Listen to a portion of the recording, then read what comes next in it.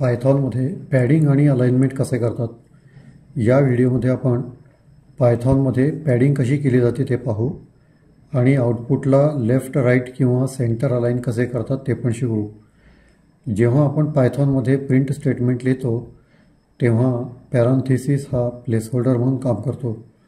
आणि फॉर्मॅटनंतर ब्रॅकेटमध्ये म्हणजे कोष्टकात आपण जे काही लिहू त्याला आर्ग्युमेंट म्हणतात. आपण जर प्लेस होल्डरमध्ये कोलनच्या आधी एखादी संख्या लिहिली तर ती आर्ग्युमेंटचे इंडेक्स म्हणजे क्रमांक बनते. आणि कोलन म्हणजे विरामचिन्हानंतर जे अंक किंवा चिन्ह लिहू त्याला फॉर्मॅट स्पेसिफायर म्हणतात. कोलनच्या नंतर लिहिलेली संख्या आउटपुटसाठीचे एकूण स्पेसेस ठरवते. कोलनच्या नंतर कॅरेटचे चिन्ह लिहिल्यास तो आउटपुटला सेंटर अलाईन करतो. कोलनच्या नंतर ग्रेटर दॅनचे चिन्ह लिहिल्यास तो आउटपुटला राईट अलाईन करतो. कोलनच्या नंतर स्मॉलर दॅनचे चिन्ह लिहिल्यास तो आउटपुटला लेफ्ट अलाईन करतो.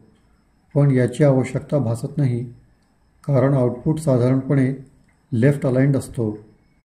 आपण पॅडिंगमधील रिकाम्या जागा कोणत्याही चिन्हाने भरू शकतो. यासाठी कोलननंतर कोणतेही चिन्ह लिहावे.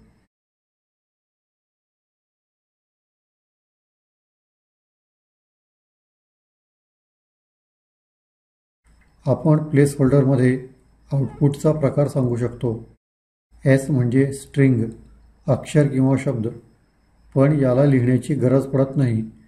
कारण प्रिंट फंक्शन आउटपुटला आपोआपच स्ट्रिंग म्हणून लिहितो.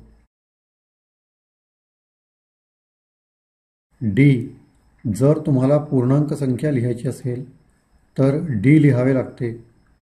एफ जर तुम्हाला अपूर्णांक लिहायचा असेल तर त्यासाठी एफ लिहावे लागते. या उदाहरणात नऊ दशांश तीन हा फॉर्मॅट स्पेसिफायर आहे. ज्यात एकूण नऊ स्पेसेस आहेत. त्यातले तीन स्पेसेस दशांशानंतर येणाऱ्या अंकांसाठी राखीव आहेत. संख्या साधारणपणे राईट अलाईन करून लिहिल्या जातात.